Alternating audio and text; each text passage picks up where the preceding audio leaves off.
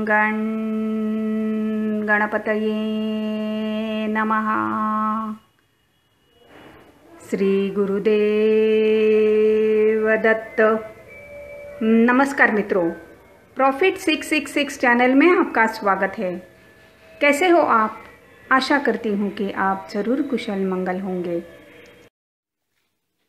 मित्रों, आज इस वीडियो में मैं आपको भगवान शिव या भगवान हनुमान जी की रक्षा पाने के एक शक्तिशाली तीन शब्दों के दिव्य मंत्र के बारे में बताने जा रही हूँ।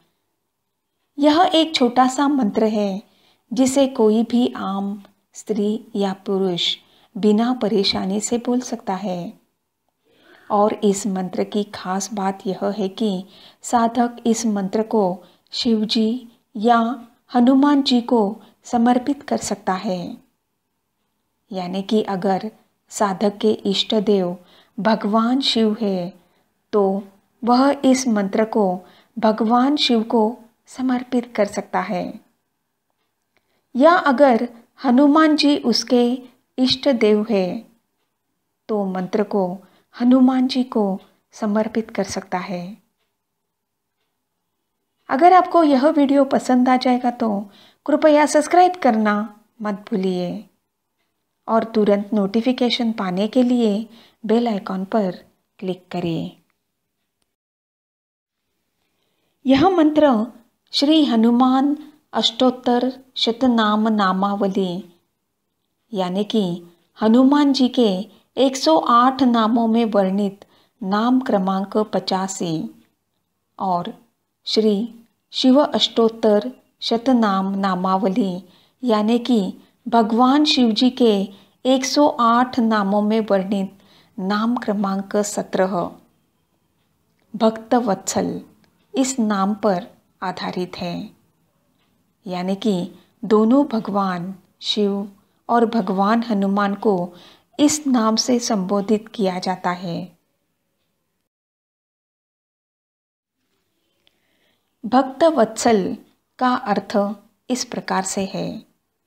भक्तों की रक्षा करने वाला या भक्तों का ख्याल रखने वाला या भक्तों की देखभाल करने वाला, यानी कि अगर साधक पूरी भक्ति और श्रद्धा से इस मंत्र को बोलेगा तो उसके इष्ट देव निश्चित रूप से उसकी हर प्रकार से मदद करेंगे और उसका ख्याल रखेंगे। अब मैं आपको इस मंत्र जाप की विधि के बारे में बताने जा रही हूँ। कृपया ध्यान से सुनिए। इस मंत्र के संबंधित विशिष्ट पूजा विधि, दिशा, आसन, माला इत्यादि का बंधन नहीं है और साधक इस मंत्र को हर रोज सवेरे या रात को सोने के पहले अपने इष्ट देव का स्मरण करके बोल सकता है।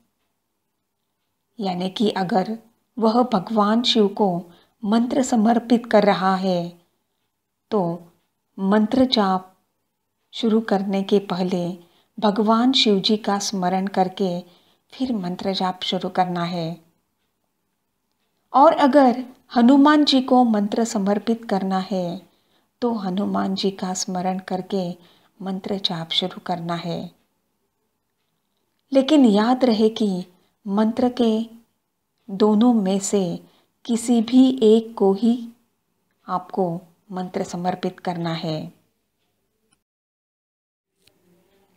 अब मैं आपको मंत्र सुनाने जा रही हूँ। कृपया ध्यान से सुनिए। मंत्र इस प्रकार से है। ॐ भक्तवत्सलाय नमः। भक्तवत्सलाय नमः। मंत्र फिर से सुनिए। ॐ भक्तवत्सलाय नमः। अगर आपको हमारा चैनल पसंद आ गया हो तो कृपया सब्सक्राइब करना मत भूलिए। प्रभु, सबका कल्याण करेंगे।